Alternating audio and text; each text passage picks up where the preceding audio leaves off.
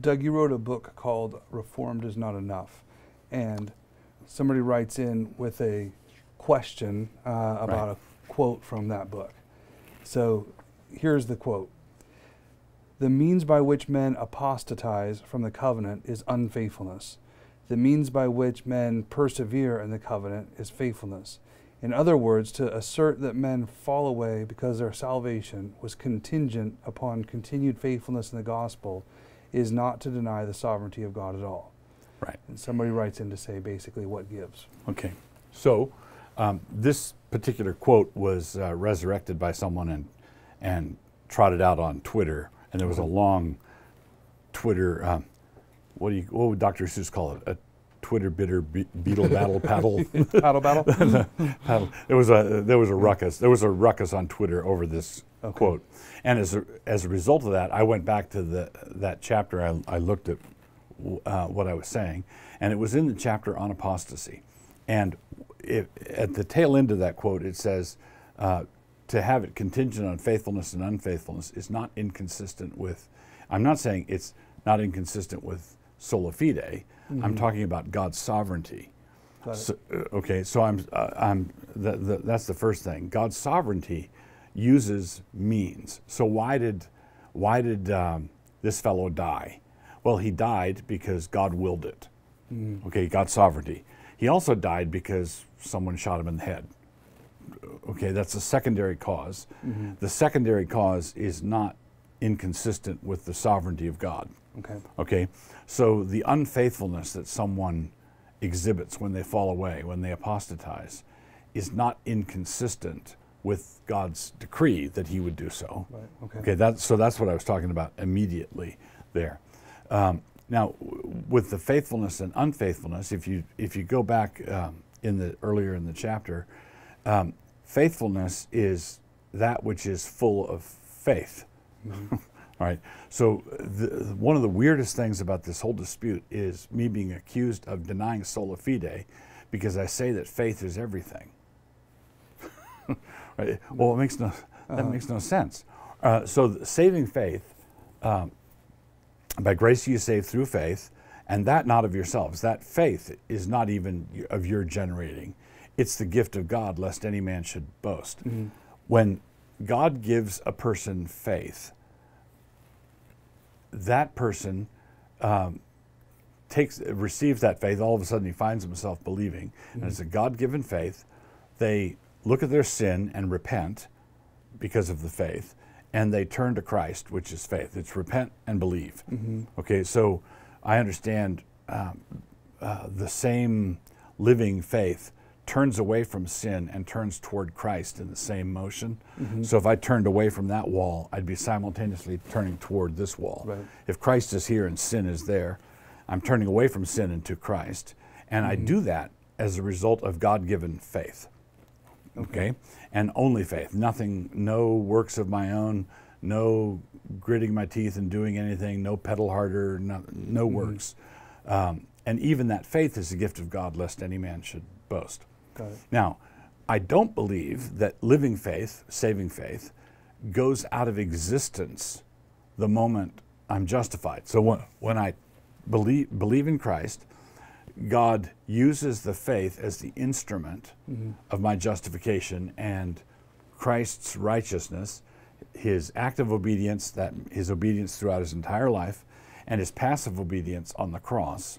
All of that is imputed to me using the instrumentality of my faith at that punctiliar moment of my justification. Okay? So uh, this person is forensically declared righteous by God on the basis of faith alone.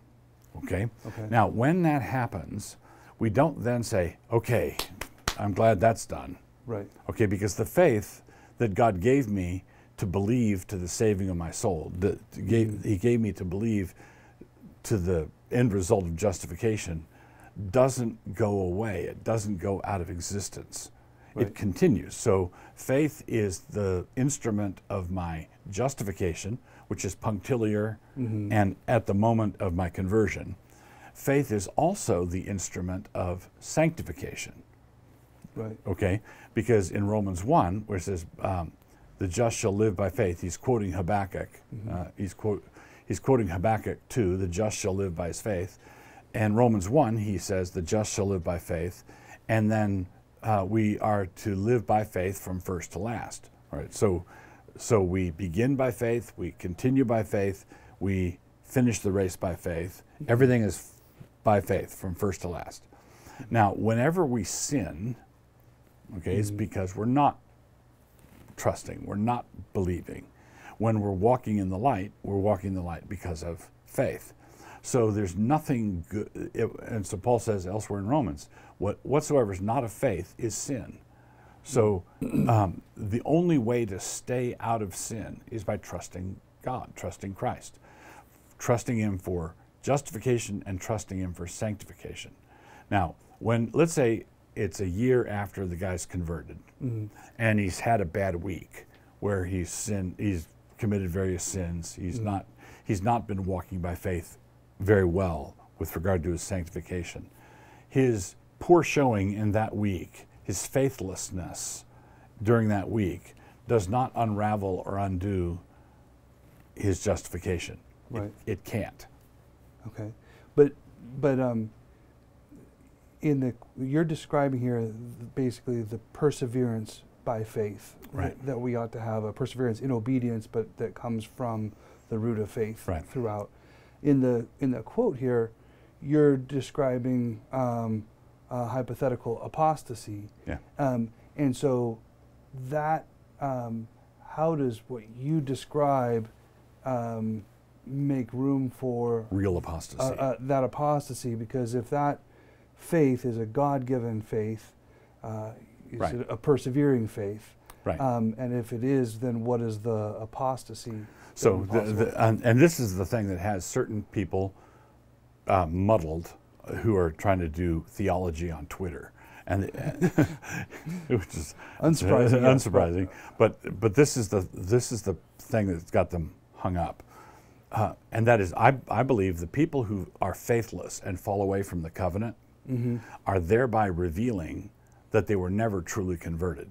okay, Okay, so John says this: the certain people went out from us, and that demonstrated that they were never really of us. right, Okay, so um, and I make that clear earlier in that chapter, Uh-huh. where um, if a person is faithless and falls away, the person who falls away is a non-elect covenant member, Okay. a non-elect member of the visible church. Mm-hmm.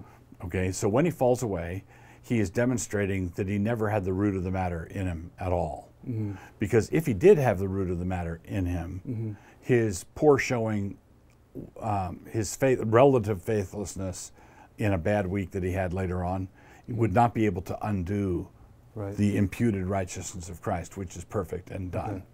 So the only people who fall away are non elect members of the visible church. They have some sort of connection to Christ because they're baptized and they're in the church and you, Right. you had to excommunicate them. Yeah. But they, they, were, they didn't have the root of the matter in them at all.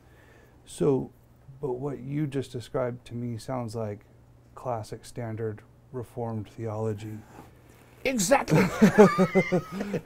Well, That's okay. what I've been maintaining. sure, but but if I could play devil's devil's advocate here a little bit, um, if it is standard Reformed theology, the, the title of the book was "Reformed is Not Enough." That Right. there was some sense in which you were trying to um, um, flesh this out more, or w- what, what was the motivation in, in Okay, so the, going that um, direction?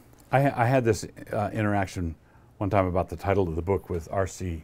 Jr. So Mm. R.C. Sproul Jr. Uh, raises the same question. What you Okay. called the book "Reformed is Not Enough," and I said, "Well, go back and look at the title." And this is um, it's scare quotes "Reformed okay, is not enough." got it. S- So Yeah. um, now, in retrospect, I think I should have anticipated that lots of people wouldn't see those quotation marks, Got it. right? Yeah. So if, if you said, um, "Hey, Doug, do you, would you would you consider renaming that book, or do you think?" Uh, yeah, I think some people were misled because I think they they thought that I was rejecting full orb reform theology. I wasn't. What I was doing, which you'll find in that book, is a detailed defense of an explication of Westminsterian theology So I'm, I'm Reformed top to bottom, front to back, side to side. I'm, uh, I'm in the Reformed tradition, and I'm squarely in the Reformed tradition. What I'm, the, so what is the quote unquote? What's the scare quote Reformed? That's not enough. Well, that would be, um, I, I would call them Bapterians, uh, Okay. people, uh, people who belong to Presbyterian denominations that hold to the Westminster standards confessionally, but for all intents and purposes, have a Baptist understanding of soteriology slash ecclesiology. Uh-huh. Now, I think that Baptist, uh, Reformed Baptists and Reformed Presbyterians who are evangelical do share soteriology. Yeah. Our soteriology is the same. But uh, the fact that we baptize babies and they don't means that you, we have to have some sort of difference of uh, opinion on ecclesiology. And so uh, a friend of mine said basically the whole, the, that whole uproar was all about children. Yeah. It was all about babies. Um, and it was um, paedobaptism, paid a communion. The flashpoint that made this what it was, um, the controversy that just keeps on giving, I think was ha- had to do with the position of children, covenant children in the covenant. And Reformed Baptists sidestep that whole problem right? They Right. just they don't have to worry about uh, what to do with children in the covenant because we don't have any, right? Right. right? No, or that we have children, but they're children who come in the same way an adult does. They're 12 years old. Yeah. They make a profession of faith, and so we receive. They, they don't have the ecclesia, ecclesiological challenge. We have the the, uh, the ecclesiological challenge because we baptize babies and we're evangelical. So that's the that's the thing that some people can't get their minds around. Got it.